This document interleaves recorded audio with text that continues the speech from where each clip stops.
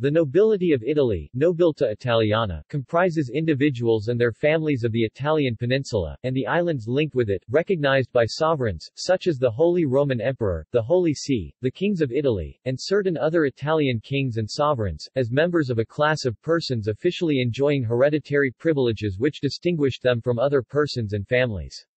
They often held lands as fiefs and were sometimes endowed with hereditary titles or nobiliary particles. From the Middle Ages until 1861, Italy was not a single country but was a number of separate kingdoms and other states, with many reigning dynasties. These were often related through marriage to each other and to other European royal families. History Pre-unification Before Italian unification there was a relatively large nobility in Italy.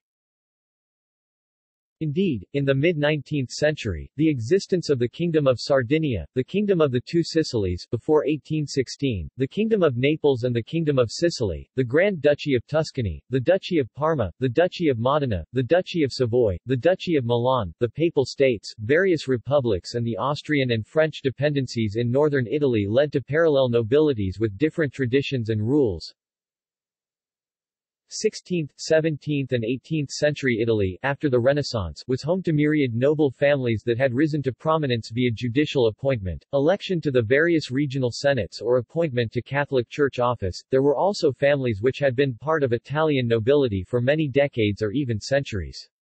Writing in the 19th century, Leopold von Ranke recorded,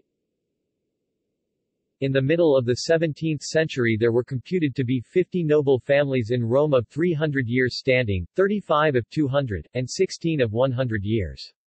None were permitted to claim a more ancient descent, or were generally traced to an obscure, or even a low origin. Papal nobility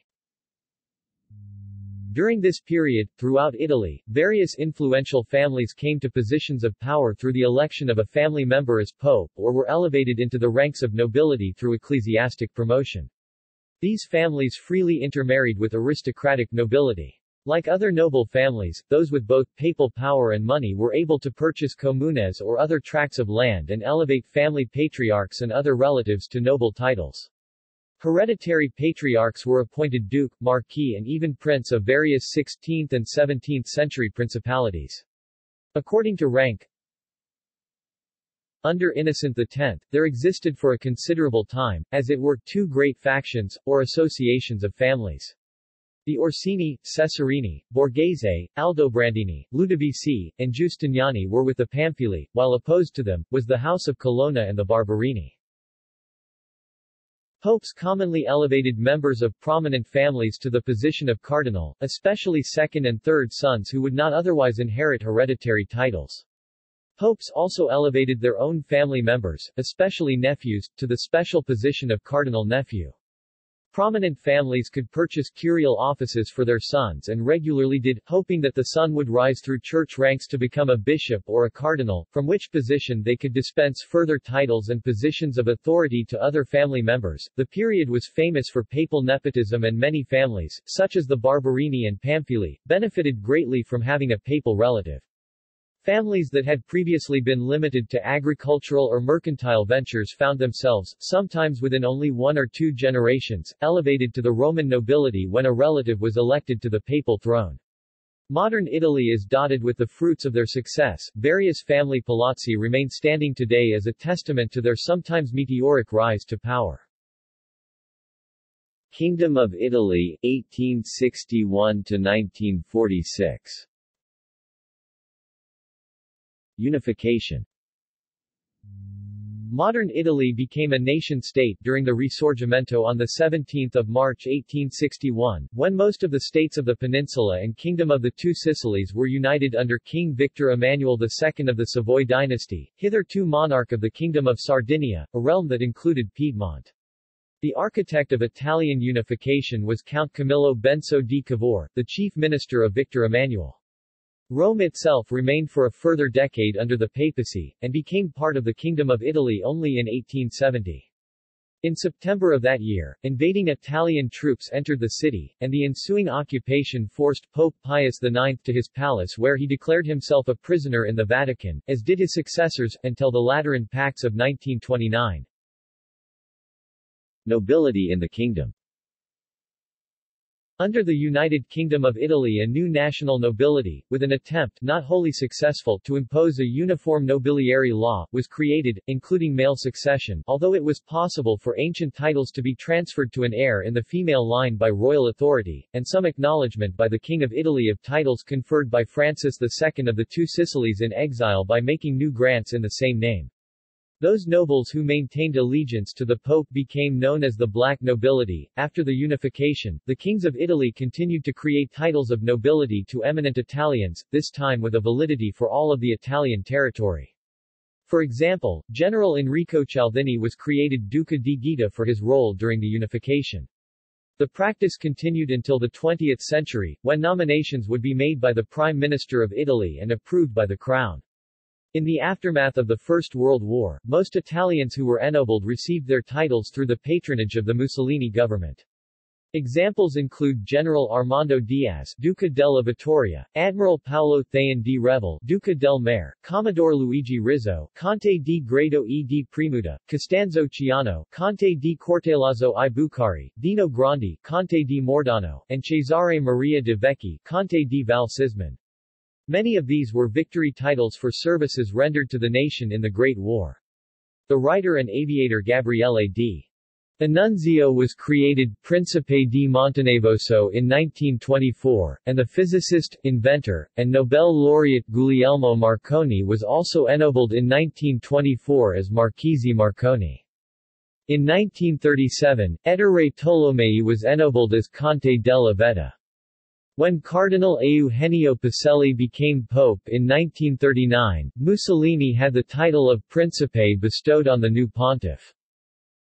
S. late brother Francesco Pacelli, who had already been made a Marchese by the Holy See during his lifetime. In 1929, the Lateran Treaty acknowledged all papal titles created before that date and undertook to give unquestioned recognition to titles conferred by the Holy See on Italian citizens in the future. After the successful Italian invasion of Abyssinia, the Mussolini government recommended further Italians to the king for titles of nobility. For example, Marshal Pietro Badoglio was created Marchese del Sabotino and later Duke of Addis Abeba, while General Rodolfo Graziani became Marchese di Neghelli. Italian Republic In 1946, the Kingdom of Italy was replaced by a republic. Under the Italian constitution adopted in 1948, titles of nobility are not legally recognized. Certain predicati territorial designations recognized before 1922 may continue to be attached to surnames and used in legal documents.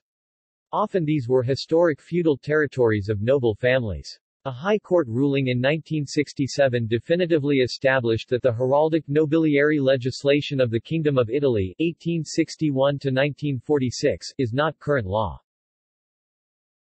Titles of nobility The southern kingdoms of Naples, Sicily, and Sardinia, as well as the Papal States, granted the titles typical of monarchies such as Spain, France or England, prince, duke, marquis, count, baron. The title of Viscount was not as frequent in Italy as elsewhere.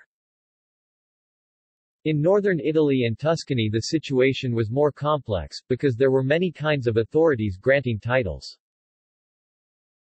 Typically, Italian comunes also in the Kingdom of Naples and republics granted or recognized the title of patrician, which was only regarded as a rank of nobility in Italy.